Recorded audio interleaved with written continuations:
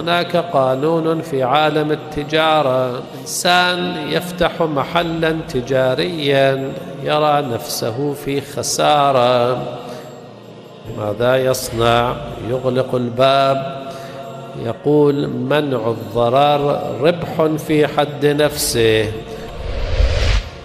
في عالم الذنوب الأمر هكذا. أن توقف الذنب اليوم خير من أن توقفه غدا. الكلام الكلام. اذا الذي عكف على المعصية دهرا من عمره. هذه الليلة يتوب خير له من يوم غد. هذا المنطق أنا الغريق فما خوفي من البلل. منطق مرفوض جملة وتفصيلا.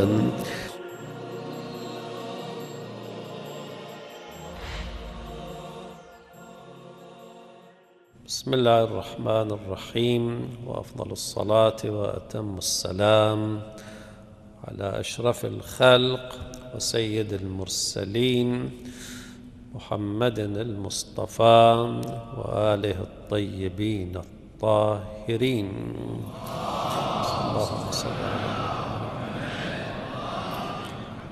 من صفات الله عز وجل أنه عزيز ومتكبر المؤمن له شمة من هذه الصفة الإلهية. طبعا لا أعني التكبر وإنما أعني العزة المؤمن ليس له الحق أن يذل نفسه ليأكل ما يشاء ليشرب ما يشاء ولكن أن يجعل نفسه في موضع الواهن هذا لا يسوغ له.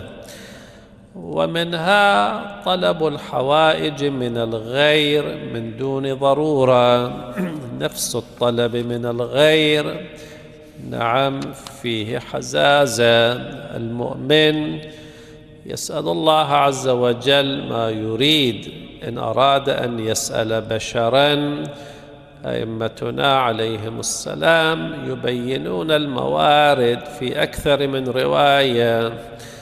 إن المسألة لا تحل إلا في إحدى ثلاث دم مفجع. إنسان مطالب بالدية. هذا نعم إنسان محتاج. أو دين مقرح. بعض أصحاب الدين صاحب المال يهتكك يهينك لا يصبر عليك. أو فقر متقع فقر شديد. بعض الناس لا يجد قوت يومه لا يجد طعام عائلته.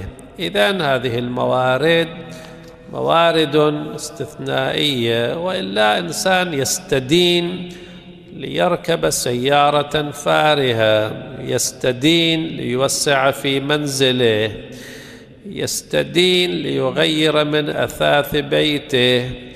وسمعت أن البعض يستدين ليسافر صيفا إلى بلد. تنتهي السكرة أو تنتهي المتعة يرجع للوطن سنة كاملة ويدفع ما عليه من الأقساط مثلا. أي عقل هذا؟ إنسان يستدين لأجل متعة لا ضرورة لها.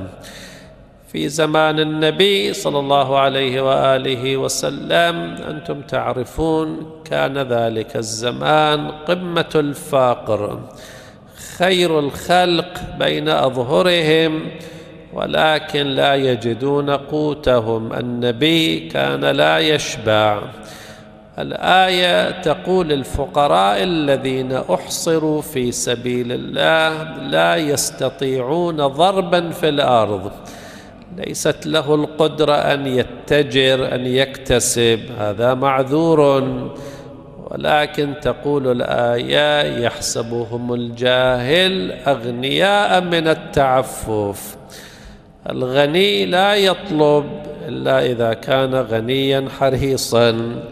وهذا الفقير المؤمن لا يطلب. ما الفرق بينهما إذن؟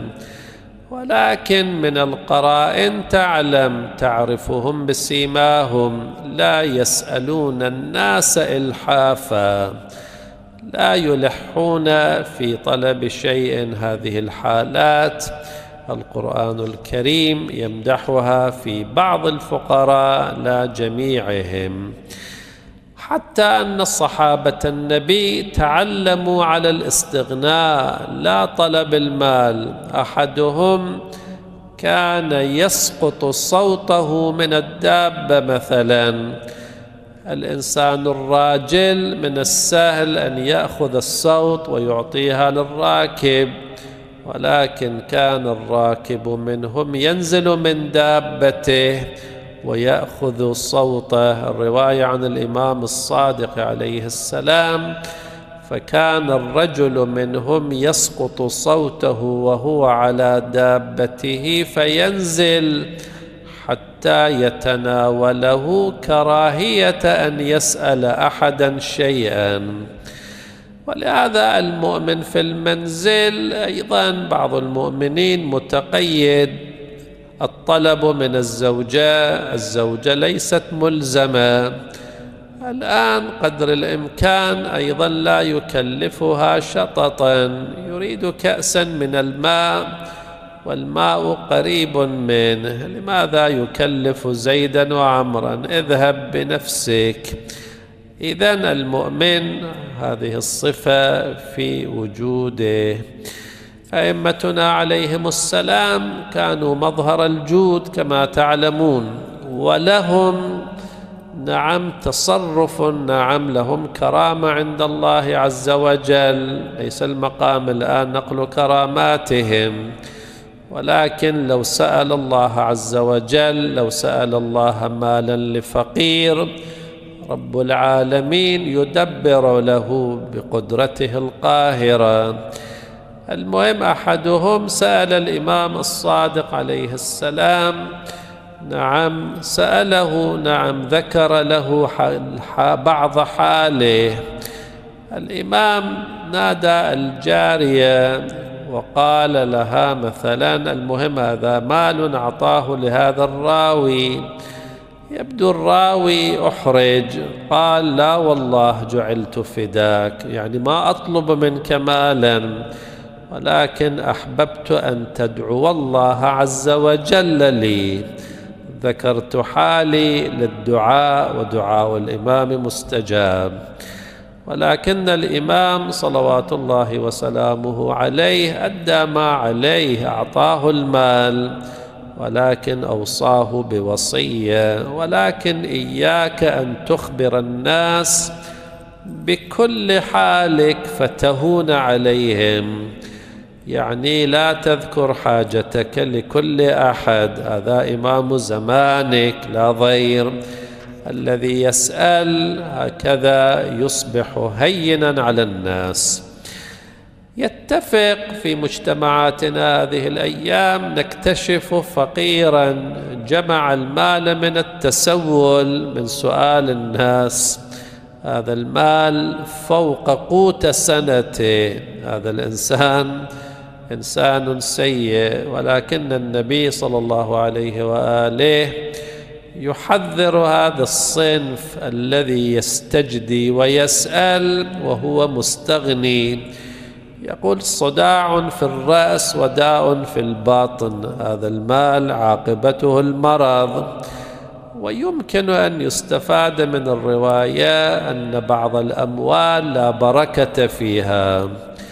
لا تفرح إذا أتاك مال من فاجر من مرابي من إنسان يشتغل بالحرام مال الرشوة مثلا النبي الأكرم يشير إلى بعض الأموال أنه صداع في الرأس وداء في الباطن. ولهذا المؤمن إذا وقع في مخمصة بدنية أو نفسية فلينظر إلى ماله الذي اكله هذا المال من أين. في زمان النبي اشتد حال حال رجل من الأصحاب فقالت له امرأته لو أتيت رسول الله فسألته. النبي صلى الله عليه وآله عندما راه قال من سألنا أعطيناه ومن استغنى أغناه الله. العبارة يعني نعم معنى ذلك. أن النبي اعذر نفسه من أن يعطيه شيئا. المهم أكثر من مرة والنبي هكذا يفعل معه كأنه فهم المقصد. يعني اذهب واعتمد على نفسك لماذا تسأل؟ ذهب استعار معولا أتى الجبل قطع حطبا فباعه المهم الرجل استغنى اشترى غلاما ثم صار ميسورا. فلما جاء النبي قال قد قلت لك من سألنا أعطيناه ومن استغنى أغناه الله. يعني لو أعطيناك شيئا أعطيناك مالا وانتهى ولكن ذهبت واستغنيت بنفسك. المثل المعروف يقال لا تعطيه سمكة أعطه شبكة. المؤمن إن احتاج إلى شيء يذهب إلى غير الفجر والفسق يشكو حاله لمؤمن. أمير المؤمنين يقول فوت الحاجة أهون من طلبها إلى غير أهلها. لا تسأل كل من هب ودب. هذا لا يليق بالمؤمن. رواية نختم الحديث بذلك. إن جاءك سائل الآن وظيفة السائل أن يراعي كل ما قلنا هذه الليلة. لا يسأل إلا للضرورة. ولكن أنت لك شأن آخر. جاءك سائل تأسى بالنبي الأكرم على ما رواه وصيه أمير المؤمنين. قال ما سئل شيئا قط فقال لا. ماذا يصنع؟ وما رد سائلا حاجة إلا بها أعطاه الحاجة. أو بميسور من القول قال له كلاما طيبا. وأما السائلان فلا تنهر هكذا أمرنا. أكرم السائل إذا أتاك برد جميل أو بإعطاء يسير احفظ هذه القاعدة. الرواية فيما أوحى, أوحى الله عز وجل إلى موسى الكليم. إذا إذا ذهبت للمشاهد استحضر هذا المعنى. النبي ما رد سائلا فكيف بمن دعا تحت قبة الحسين عليه السلام لأمر آخرته؟